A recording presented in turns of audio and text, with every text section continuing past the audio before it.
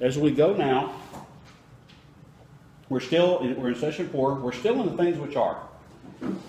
We're going to look at a couple of the book of the letters today,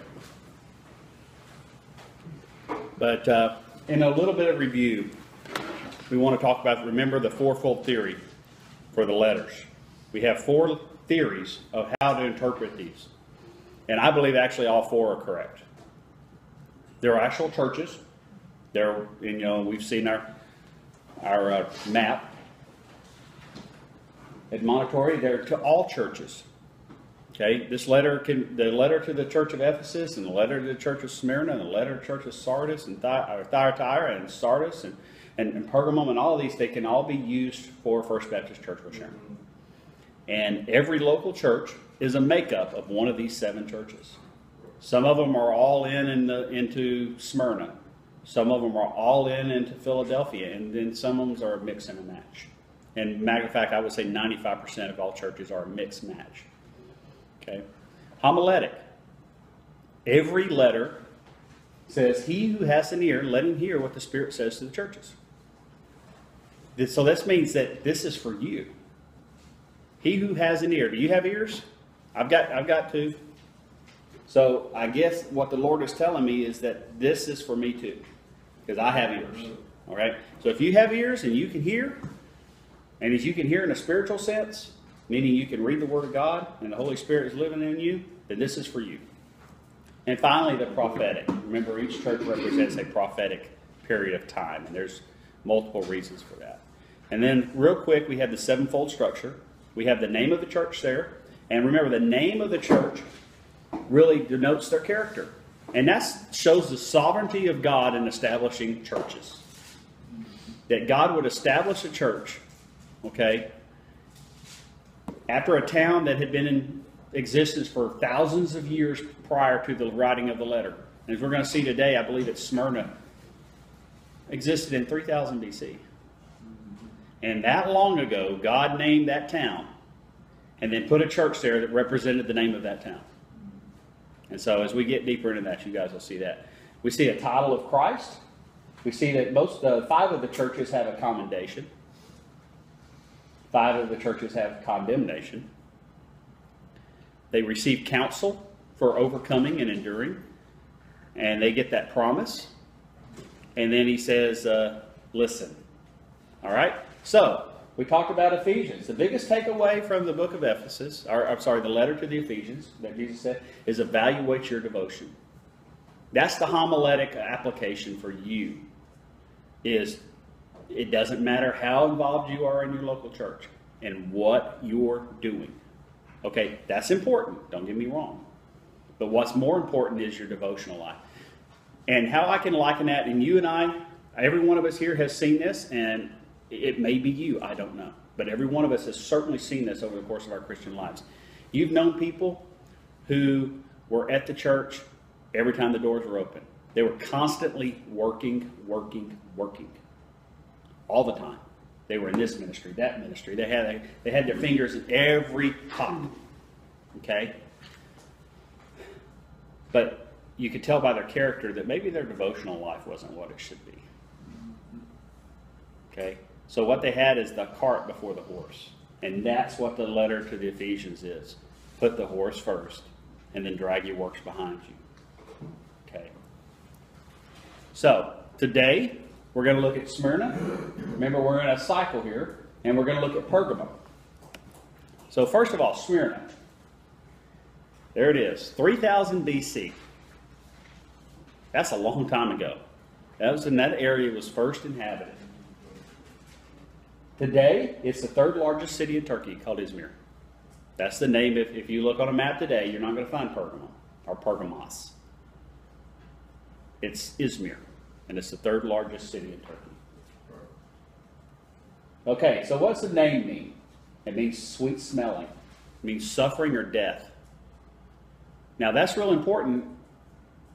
When you now, if you go back and think about that church, uh, the letter to Smyrna, they were always being persecuted, weren't they? Isn't that what Jesus was saying? You guys, hey, I know you're you're standing strong. You know, I know you're being persecuted. Some of you are going to be thrown in prison for 10 days. You know, and we'll talk about what that means. It's amazing that that church that was going through those characteristics, that name, the, their, the name of their town meant suffering. And so once again, we see the sovereignty of God in, in thousands of years, knowing that, you know what, there's going to be a church one day that I'm going to write a letter to, and they're going to be a bunch of suffering Christians. So I'm going to get this town named Smyrna. God's in everything. Also, those names seem to contradict each other. Sweet smelling. Sweet smelling in terms of a sacrifice. Uh, Okay? Uh, it, and it all is part of the Greek, how you look at the Greek words. Uh, the Because Greeks, you know, have a root, a root word. And then you add some stuff and take it this way, you can take it this way, but it all revolves back down to the root. And so we get that sweet smelling offering. Remember, the scripture says the prayers go up as a sweet smelling incense. Okay? And sacrifice is a sweet smelling, it's a sacrifice offering to God. Okay. So yeah, that, that is true. They do on the on the surface look like they contradict. But the way the Greek language works, they actually they're the same. Just uh, we have, and I, I can't think of any offhand, but we do have English words where they, they kind of look like they might be different words, but they come from the same root. Okay. Um, oh, sorry, Jesus' words about himself. He's the first and the last who died and came back to life. Now we talked about that in Isaiah 41, in Isaiah 46, I believe it is where God, Jehovah God, is saying, I am the first, I am the last, besides me there is no one. And this is a great verse to actually use uh, with Jehovah's Witnesses who say that Jesus is not God. Uh, well, when did Jehovah die and come back to life? The only way he did that was through Jesus Christ. Yet Jesus Christ now is calling himself the first and the last. He's using the very title. And if we go back into chapter 1, we see that title again. I am the Alpha and the Omega, which is the first and the last. And so here we have specific, cannot contradict it. There is no other interpretation. Jesus Christ saying, I am first and the last. I am God. Because that is a title that every Jew knew was God. Now, in the context of our day, most Christians, if you say who's the first and the last, no. They might think of, you know, okay, first Cowboys first quarterback, you know. but if you mention this back in the first century to a Jew, they knew exactly who you were talking about. But this is a, this is Jehovah. It's commendation. He says you have works, you have patience, and you're poor. Now, I find that interesting that it's poverty is a commendation. Because in our society, that's a condemnation. We kind of look at poverty as a, as a bad thing, but what Jesus is saying here is they've made themselves poor for the gospel of Christ. Because in that day, unlike this day, in that day, your faith, that it could really have some serious implications on your pocketbook. Okay? Especially right after this, as we get into this, this prophetic period that Smyrna is talking about, which is the from about 100 AD to 312, and we'll talk about that. If you know your church history, that is when the church was most persecuted, up until this last century. Uh, this last century saw more persecutions than all that combined. But up until this last century, the church was severely persecuted under the Roman Empire between 100 AD and 312 AD. So, because of that, it does not have one condemnation.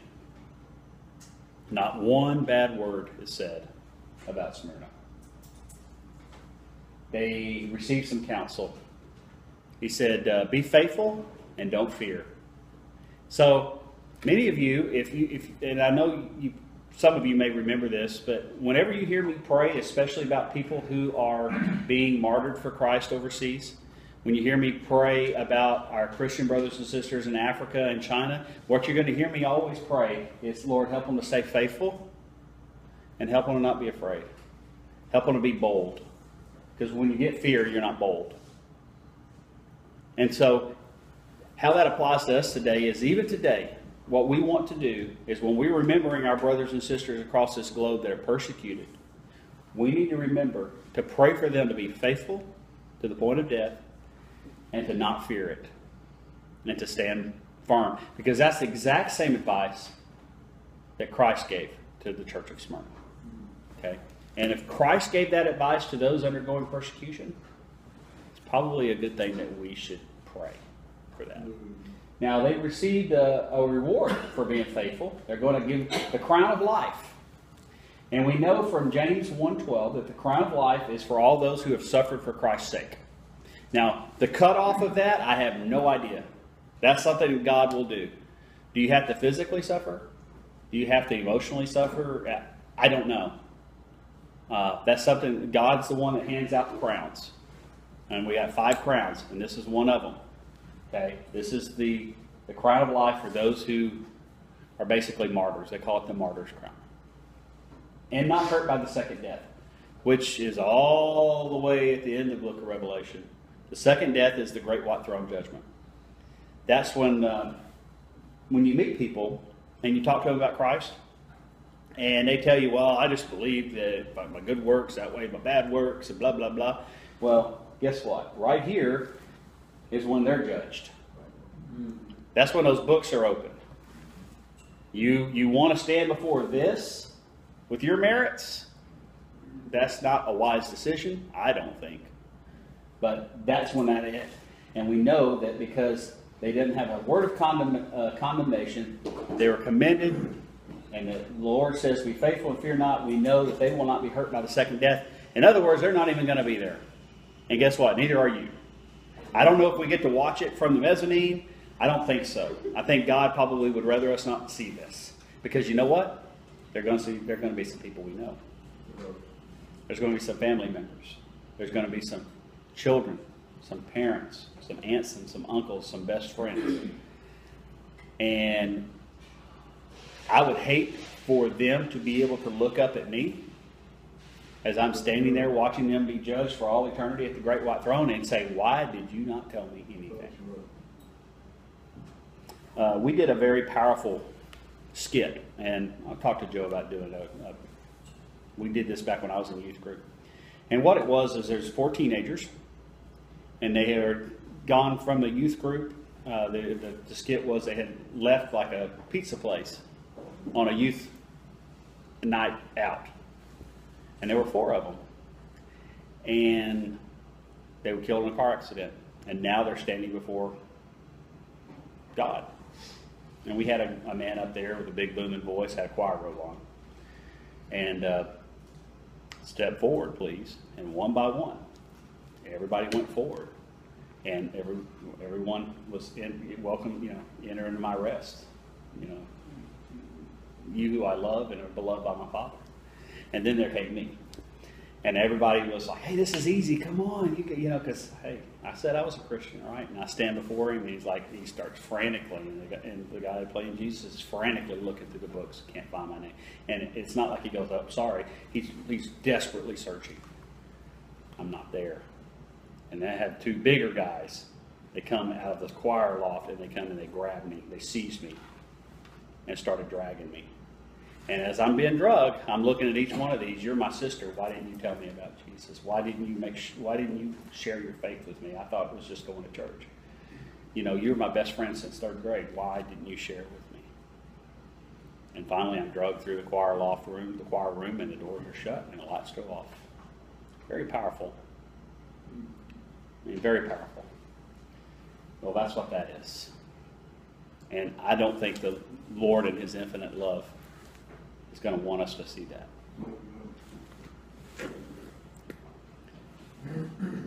He who has an ear, there it is again. So we see that always that the promises will not be heard by the second death, that we get these rewards. But look, look what's, what's interesting here is that is that the promise always follows hearing. Notice that? He who has an ear, let him hear. The one who conquers will not be hurt. It doesn't say the one who conquers will not be hurt. He who has an ear, let him hear.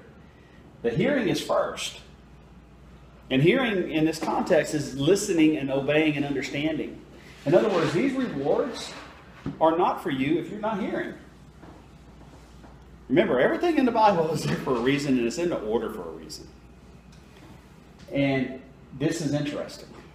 Okay? It's something that we need to really pay attention to. So, I know your tribulation and your poverty, but you are rich. So, we have a messed up view in America of what wealth is, what richness is.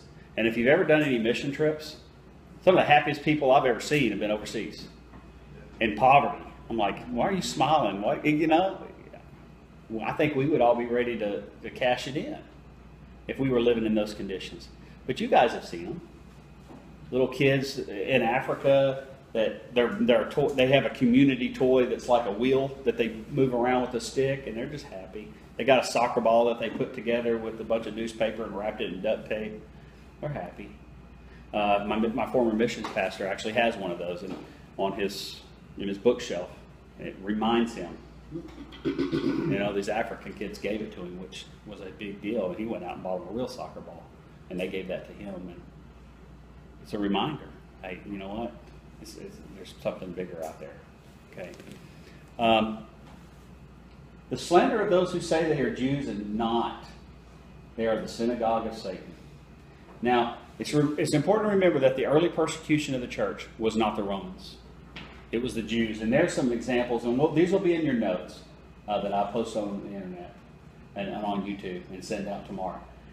Uh, these are the places we see in Acts where the Jews really started persecuting the church.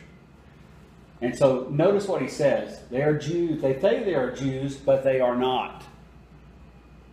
Okay? These people that were doing the persecution were Jews, but Jesus says basically, I've disavowed them. And if Jesus says you're not something, I don't care what you say you are, but you're not. Okay? They are actually the synagogue of Satan.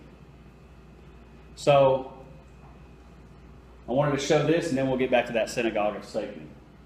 Uh, this is a, a piece of information that's like, hmm, what does this mean? 10 days. Well, there, I have to tell you, there are a lot of theories about what this means. Uh, when you guys read it, you probably like, you're going to have 10, 10 days of tribulation. I don't. One thing that the Greek word can mean is a literal day, or it can be a period of time. Okay, the Greeks in their specific language were not real specific sometimes, and they rely, you relied on context to actually interpret the word. Well, what's interesting is that from the time the Christian persecution really started till the time it ended, there were 10 Roman emperors. And so the main theory is that the, the, the 10 days, it means 10 periods of time of persecution. And that also goes into the, this is a prophetic overview. Okay, so, so we have it to the church, we have to, to all churches, we have it to you individually, and then we have a prophetic time frame that this covers, a church, period of church history. And this is one of those pieces of evidence that lends credence to that, is that there was no other day when you have 10 days of persecution. It never happened in the history of Smyrna Church. So it has to be something symbolic. And so what we think it means is 10 periods of time, and there were 10 Roman emperors that really persecuted the church. Some of them in varying degrees. Okay? Uh, this was the worst. Diocletian. All right? Domitian, he's the one that, that exiled John. And then we have various, uh, some of these weren't real bad, and then some of them were really bad. Okay? They, the, the persecution of the church kind of went like this. All right? So, we see as prophetic fulfillment is that first, the couple of hundred years there, where the church was really persecuted. Now, what is his application to us? Endure. All right? So we have evaluate your devotion, and we have endure. Okay? Now, so uh, I'm going to skip through this real quick. Uh, these were what Pergamum was famous for. Uh, anybody recognize that symbol?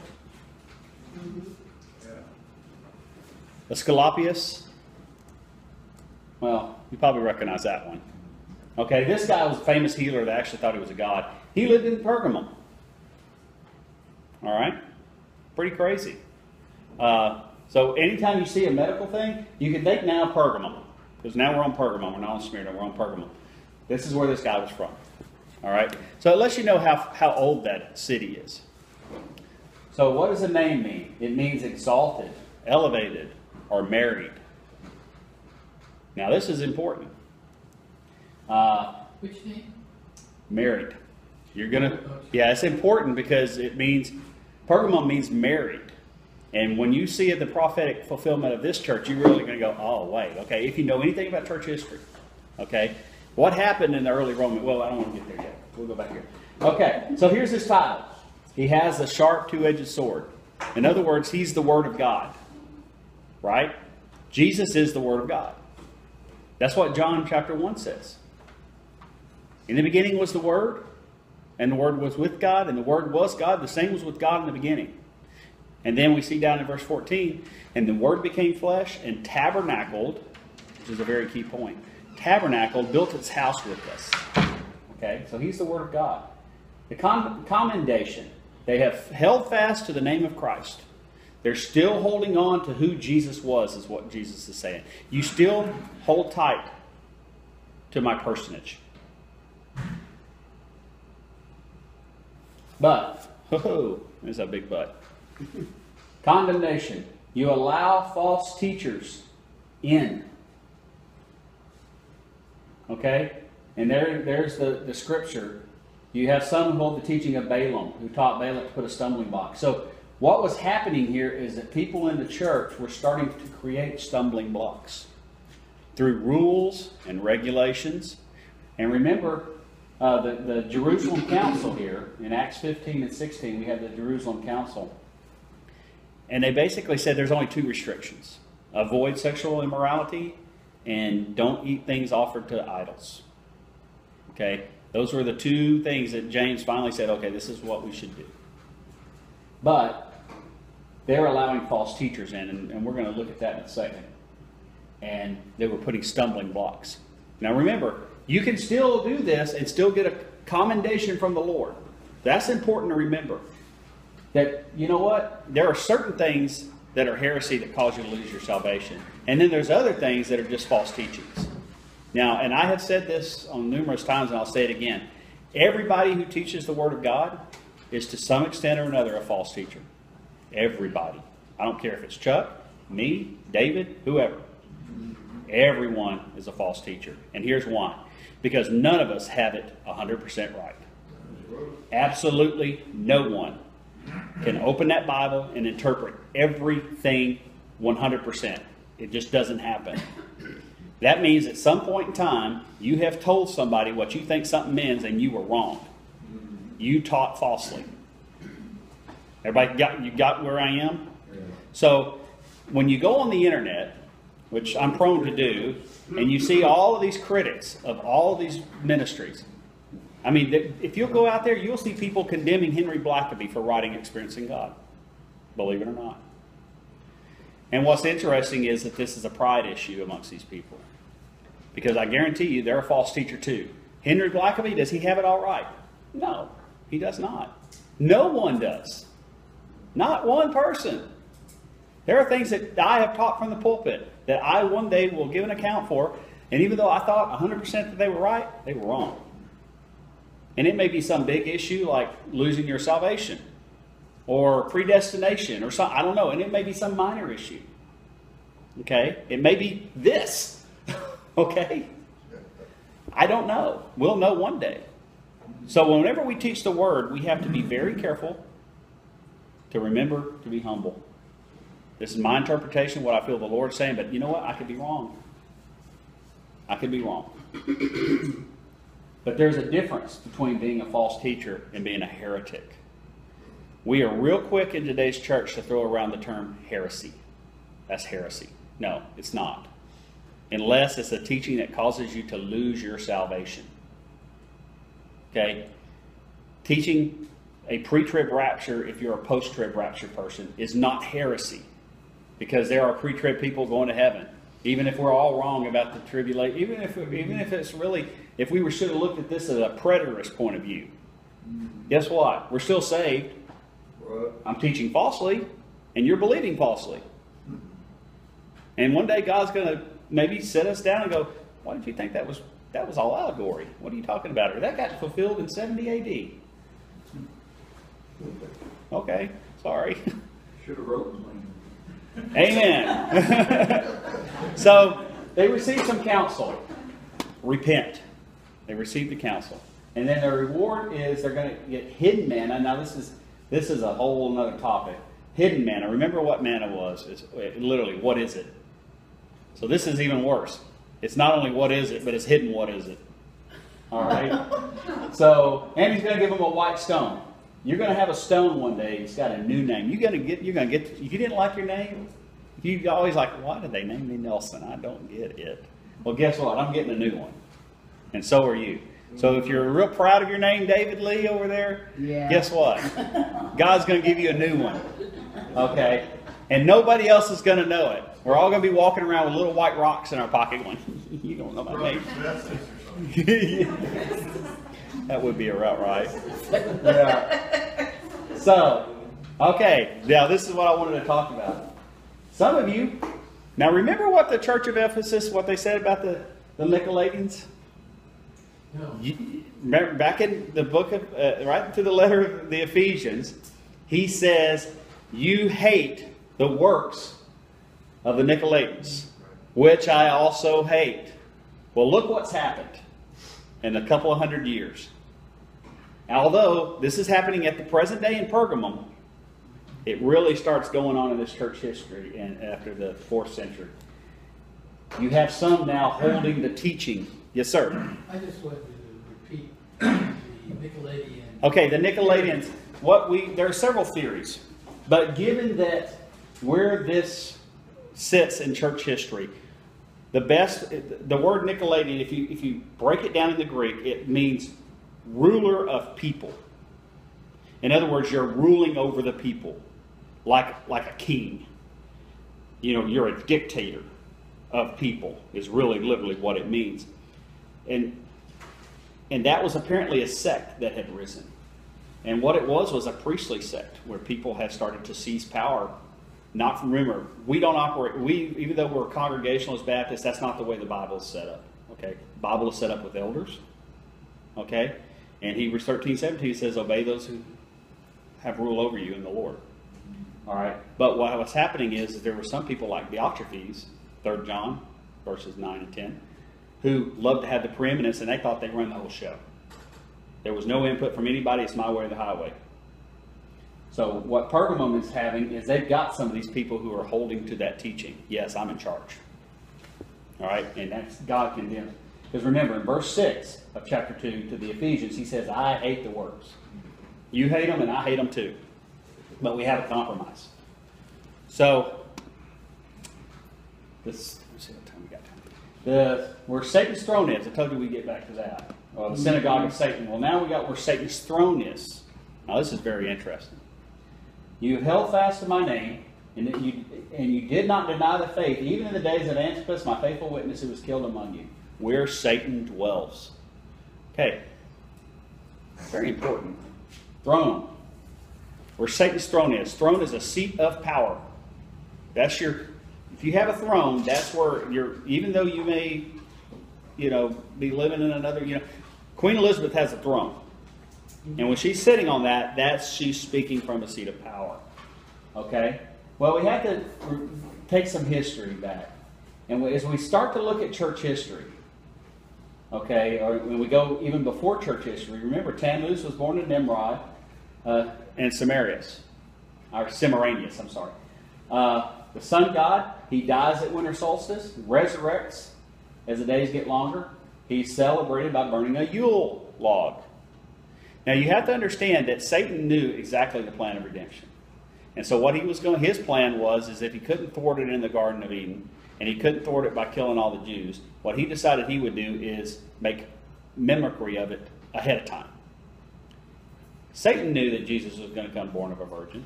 Well, guess what? Tammuz was born of Nimrod Semir- uh, Semiramis. And he died. And he rose again in the, in the myth. Now, they trimmed a tree for him too. So if you read Jeremiah 10 and you get some people who say we shouldn't have Christmas trees, that's where they get it from. Because that was a pagan witch ritual that they did to celebrate the rising of Tammuz. Okay? And they also had mistletoe, which is fertility. That's the reason why you get a big kiss on the cheek or the lippers. Okay? So, what happened in Pergamum and why this inter- intersects is Augustus started emperor worship. Remember how they used to worship the emperors? You would give your little peach offering or whatever, and that was, and that's what Christians refuse to do. This all started in Pergamum. That's the seat of Satan. That's what Jesus is saying. Is that the seat of all of this evil? It started there. Okay, it became the center of a religious uh, emperor worship, and the first temple was built uh, Ves- Vespasian. Okay, in 27 BC. Now, what does that temple look like? You ask. There it is. Isn't that in Berlin? Oh, up, up, up, up, up. Stop. You stop. So, there it is.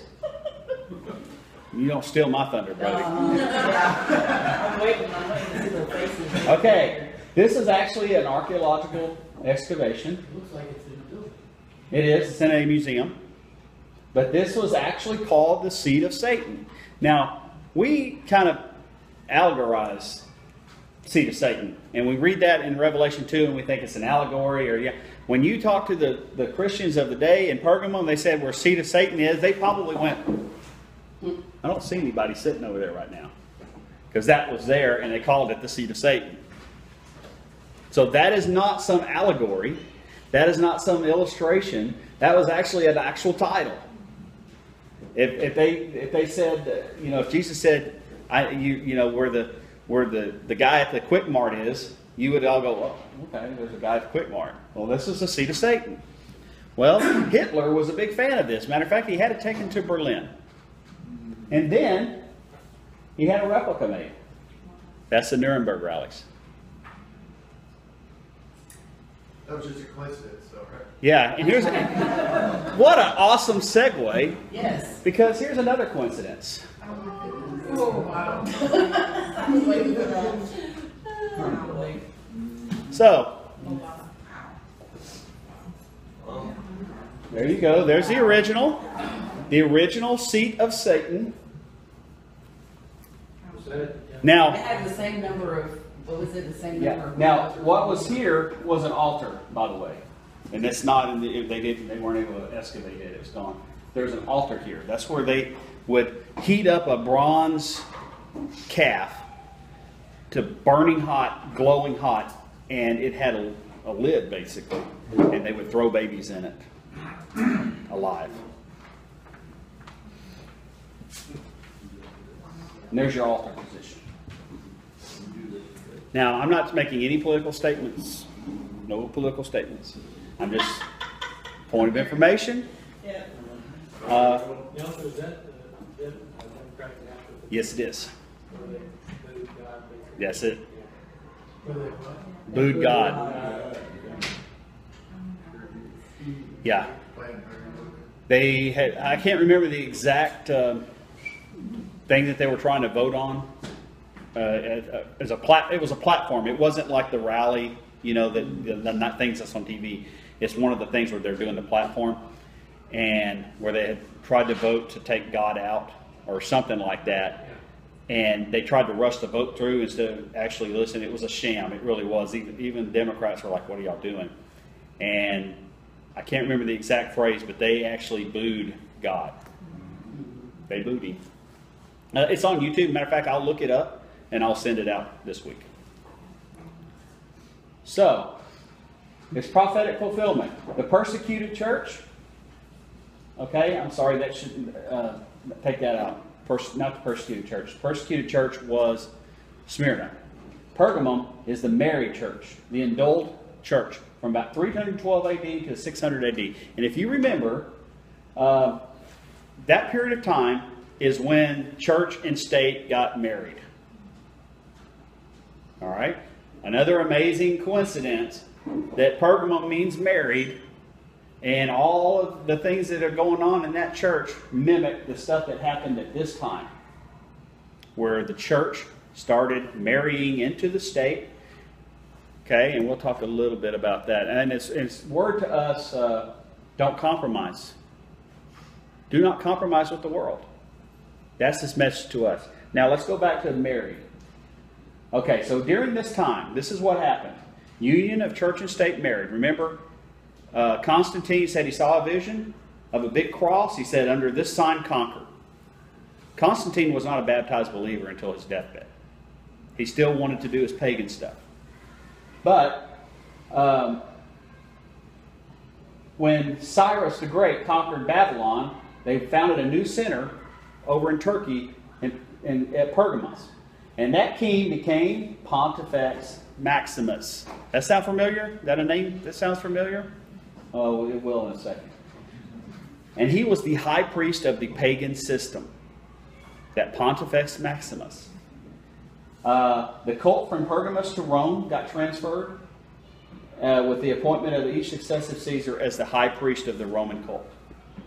And finally, in the, uh, 378 AD to 395 AD, Theodosius made Christianity the state religion. All Constantine did was say you can't be persecuted for your Christianity. But it wasn't until the late 4th century that Theodosius said, This is who you will serve. And then finally, this bishop in Rome, uh, he completed the absorption of Babylonianism. You want to know why we celebrate Christmas on December 25th? Here. You want to know why you have a Christmas tree? Here. You want to know why they burn a Yule log? Here. And I miss. Why we have mistletoe? Why is it called Easter? It's Ishtar, the goddess of fertility. Jesus didn't walk around saying, hey, it's Easter time.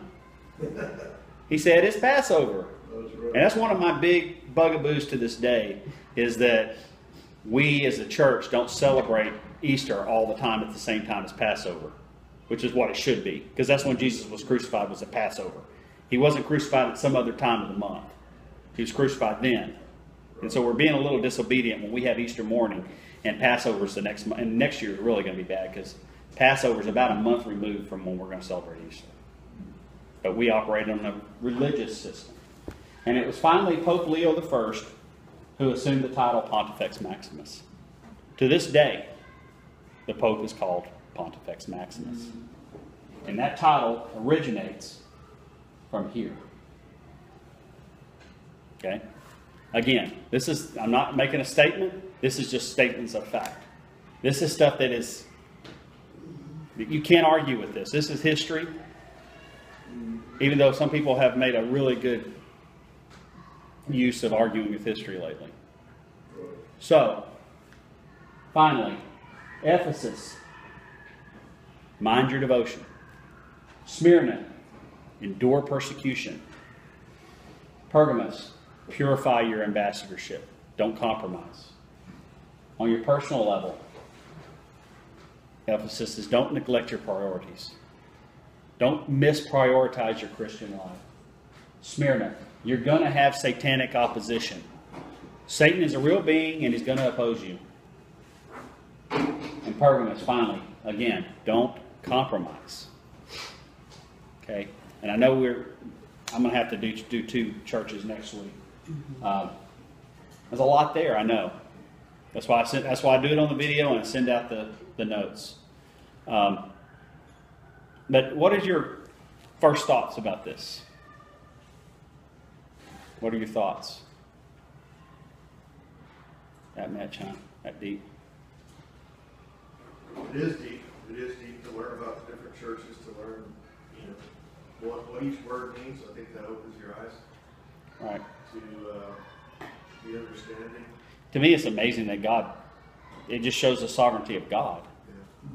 Wow. That he, you know, Pergamum, he, he, that town's been around for thousands of years. And he said, if we're going to plant a town there named Mary, and I'm going to put a church there that's going to represent compromising with the world. Pergamum still called Pergamum today? No, no, it's not. Yeah, I can't remember the name of it now. All right.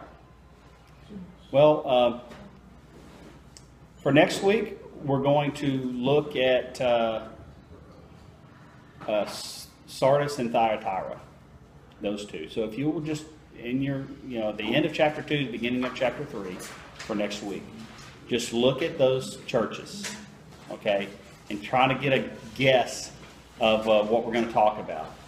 Because uh, as we get closer, especially with Sardis, what we're going to see is that it, it, it represents the Reformation. And we're going to see that God said there was nothing good about it, which was a really surprising thing to me. Okay? So let's go to the Lord in prayer. Gracious Father, I just thank you for this time. Lord, it's, there's just so much here. Father, uh, we're so blessed to be able to study your word. We're so blessed, Father, to, to sit here right now and hear the sound of children playing and laughing. And Father, that is a tremendous blessing to us. Father, it's so wonderful to, to live in this freedom.